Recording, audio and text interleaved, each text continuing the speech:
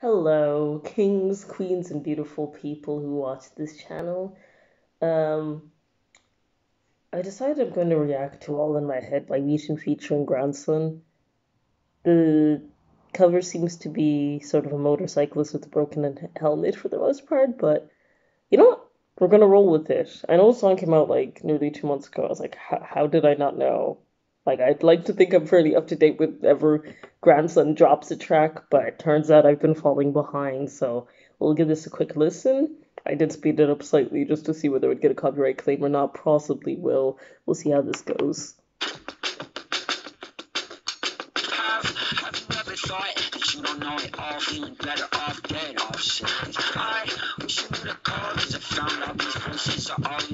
you don't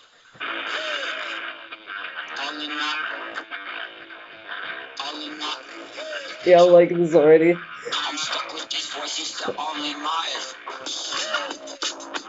all in my head.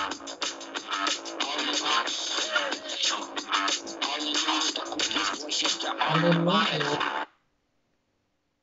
It sounds like the type of music I could picture. You know, whenever you watch a movie and there's some scene where somebody's chasing somebody else down, usually for doing something criminal, or there's a car chase scene. This is what it sounds like to me at the moment. Like, I, I like the song very much.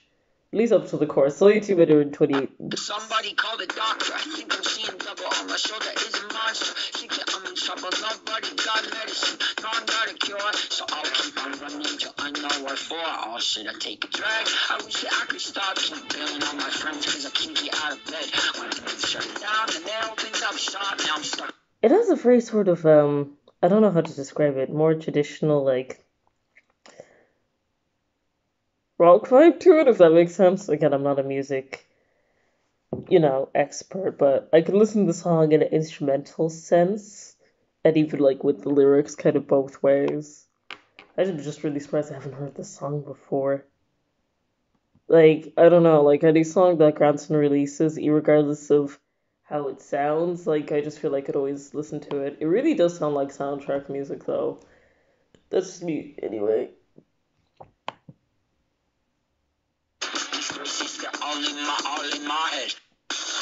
Oh yeah, and I'll definitely link the song down below, don't worry. All in my really want to